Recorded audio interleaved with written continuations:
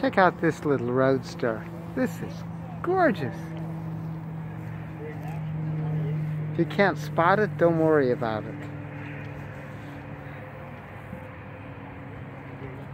It's a Templar. Templar Motors Corporation. You can see on the motor meter. This is just absolutely... This is why I love Hershey. Too bad we didn't have it. It's a tight little roadster. Look at the step plates. Obviously a quality machine. It does have doors, cutaway doors. It's got a regular sliding transmission. It's got a fat man steering wheel because you won't be able to get into it any other way.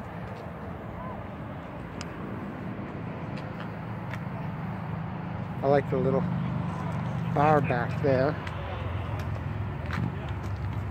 dual spares in the rear, side door of course.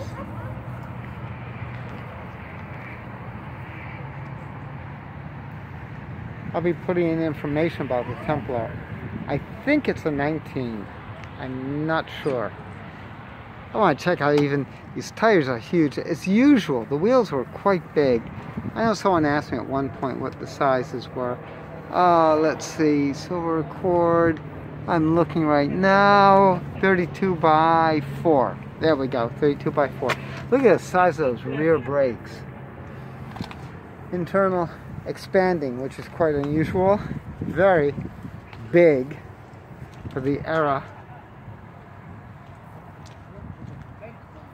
This is beautiful. Of course, no front brakes. These springs all the way around. Again, the Templar.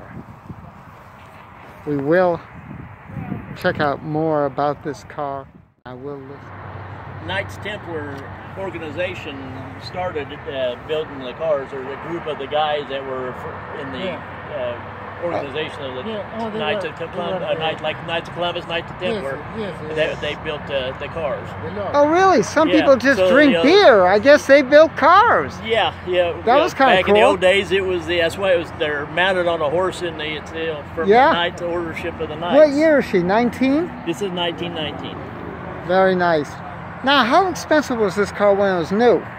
This was uh, just a little under three thousand dollars. That's a lot of A money. A lot of money in nineteen ninety. A lot of money. When you could buy a bunch of Model Ts for that. Oh you know, my you know, gosh. You know, two hundred fifty dollars for a Model T, and you know, Yeah, just uh, no. At that point, it's four hundred ninety dollars because that's what uh, Chevy did. Was yeah, the four ninety? Yeah, the four ninety. Yeah, so walking right in. yeah, Now, yeah, what's could buy- under the hood? yeah. Uh, Probably a T-head engine, right? no, it's overhead valve. Oh, it's over here.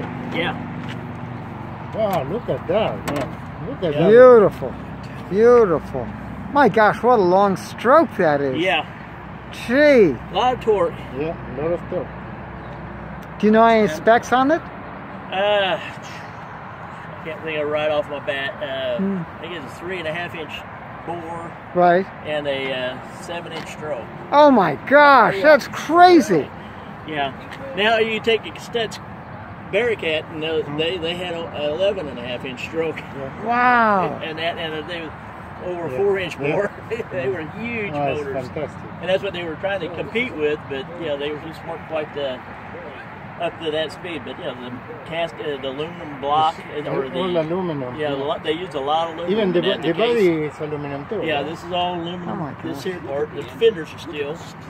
Yeah, so you've got the alu- uh, cast aluminum Cast uh, aluminum some. crankcase and, and the then the, uh, steel. and, the, and then the steel jug and the Right. head.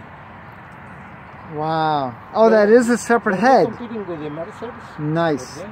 Yeah, yeah, they, So they it- probably took the, the fenders off. yeah. Okay. Well, the first Templars were made looked like the old Stutz Bearcats. Oh, yeah, with okay. that Oh, monocle yeah, yeah, windshield yeah, and that, the very yeah. first ones they made, and I don't know if any that's still around. I mean, they, Yeah, I've they never all. seen one of those. Uh, Yeah, they, I've never seen a Templar. I know we're, well, we've got four uh, Templars, and uh, a guy up in up in Cleveland owns the factory. He has Yes. eleven or twelve of them now. Oh, wow. How many were big. produced? So seven thousand. 7,000. Seven thousand. Yeah. Over what years? Uh, from 1917 to 1924. Oh, okay. So they did last. They even got through the uh, Yeah, depression. well, the World War, but during World War One, they didn't build anything Right. for, you know, so they For started back up in 1919. okay. Yeah. That's surprising. It got through 21, but they couldn't go any yeah, and further. then- then by that time, the, you know, they started having money trouble because they, they were expensive cars and they weren't selling Yeah. enough of them. And Yeah. they were the first car to come out. Uh, that we have a 1920 that has front wheel brakes. And it's the first car to have factory made front wheel brakes. On. Oh, really? yeah, Where are Templars from? Cleveland, Ohio. Really? Yeah, How you doing, Pam? factory still stands. Hi, there. very good. What Uh, year is this? This is 1919. Very I- advanced for its time. Yeah, yeah. It's got an air compressor built onto the transmission so you get air tires and Billy, I carried a Wow. in my trailer that John Bradley had in New Hampshire down to Hershey about 15 This is great. ago. He some trade. I, I should have bought it. I like your locking I ignition. bought. Locking Yeah. ignition, Yeah, fat man steering yeah. wheel. Beautiful. It was, Yeah. Yeah, it's got Brad the- very good shape. uh, well, it- and, uh, Is fat that man steering wheel, which is brother, Yep. he lived in, O- his twin brother lived in Oklahoma. you can tilt it to get your belly in, I carried which is back in my trailer. handy. Yes, you Now did that. Yeah, Well, nothing moves over here. Is that a four-speed or three-speed? it's three speed. Very good. I like the way how they have the Templar up on Yeah, top. yeah. They had to cross there, yeah, and then in the uh, in 1920 they put the knob for the cowl vent. Uh-huh. Cowl, in 20 cowl vents were that was first year for a cowl vent in a Right. Templar, and then the knob has the Maltese cross on it. Oh, that's too cool. Yeah, That so- is too cool. I like your windshield wipers, by the yeah, way. yeah, Manual yeah. windshield wiper. Yeah, it probably didn't do you a lot of good if you were a down board in it anyway. No, not It's really. just kinda, I can't believe the size of the rear brakes are huge. well, it's the only thing you got for brakes too, though. Yeah, so. Yeah. Well, you also have the transmission brake. yeah, correct? Yeah. yeah, But yeah, it just locks up the rear wheels again. So Yeah. We got the- we came in But the- the that's Gulf still very big. This is gorgeous. And the rear half is aluminum, huh? yeah, Front half is steel. And they made their own motors and everything. motors. Yeah, Wow. they bought their transmission and rear ends. It's the only thing they bought. Who designed the car? Do you know? I, I don't know if it was uh, somebody in house or what, but yeah, we always liked you know the dual inset rear spare tires and stuff. That What Back a there. sweet car. Jeez. Now, where did you find her? this was uh, up in New Palestine, Indiana. It was up in uh, right outside Indianapolis. Uh huh. We knew about it for years because the guy we bought a 20, and he had some of the parts for the 20.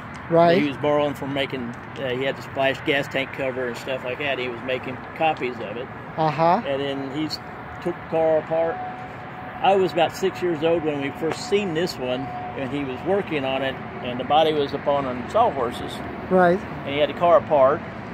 And I remember looking at the interior, thinking, "What? What? That's leather is just really funny looking. Well, it was ostrich leather. Oh, really? Yeah, and and when we finally the guy died, and years later we you know at, at the family sold off his cars and stuff. We went up there, and it was still all apart, but the body was stripped off the paint and that.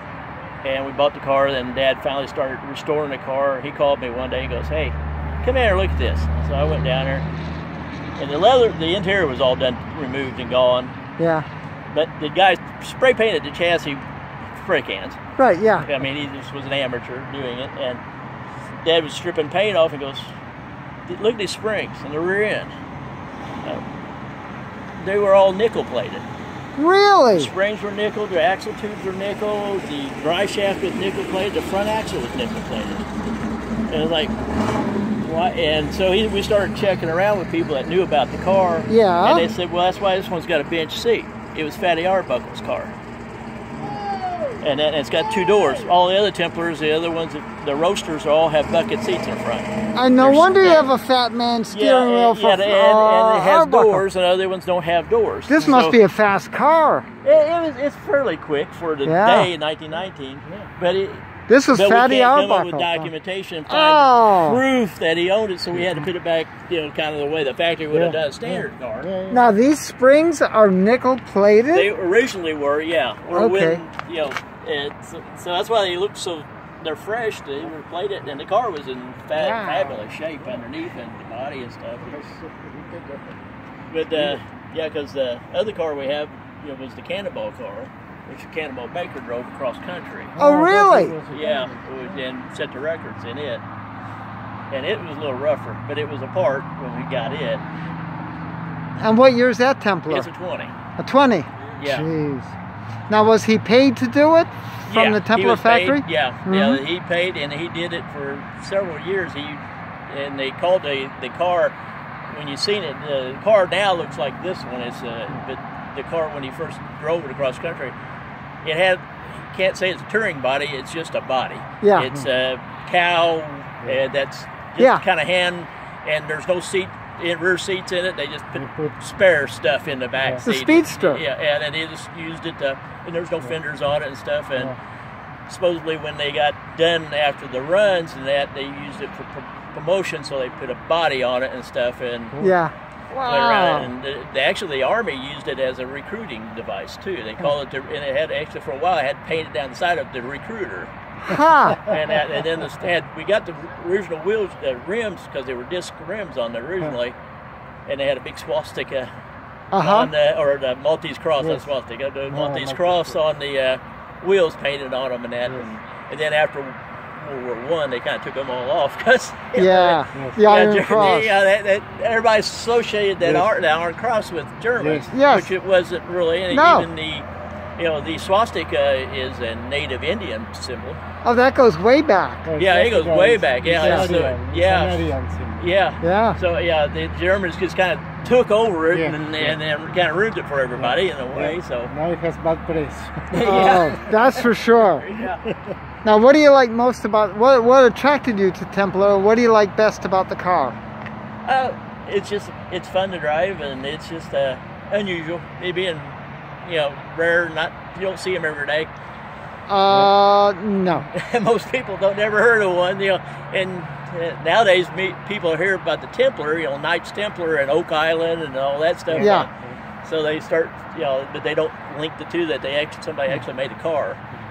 Now, I like your T-shirt with the uh, superfine small car. Yeah, that's what that was their logo. Super, you know, they started using that because the Stutz and that were a bigger car, Yes, and that so they went with a super fine small car. I like that. Yeah. I like that. Oh, Thank you for for the information. Uh, Oh Thank you. gosh, thank you.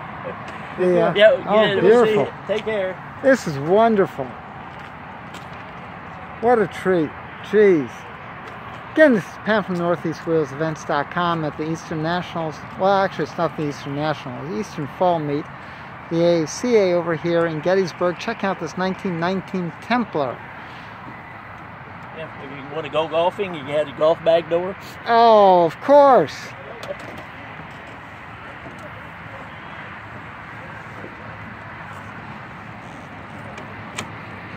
Fits right in.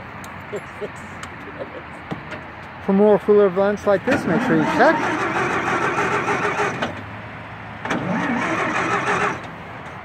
NortheastWheelsEvents.com. Come on, girl. Southeast Wheels Events and UK Wheels Events.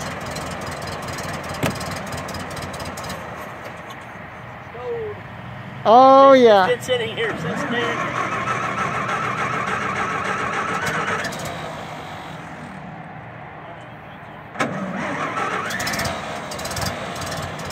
There we go. Let her warm up for a bit.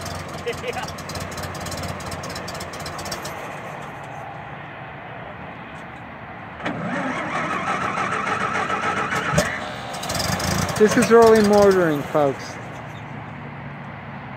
Remember when we used to have to warm up cars and stuff? Get the choke set just right. There she is. There she is.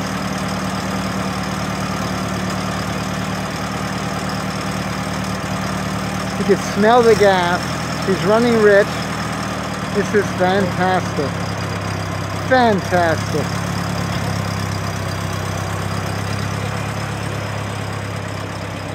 Again, 1919 Templar.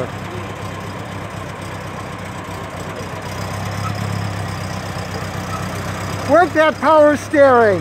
Yeah. Fire, fire. I'll see you at the shows.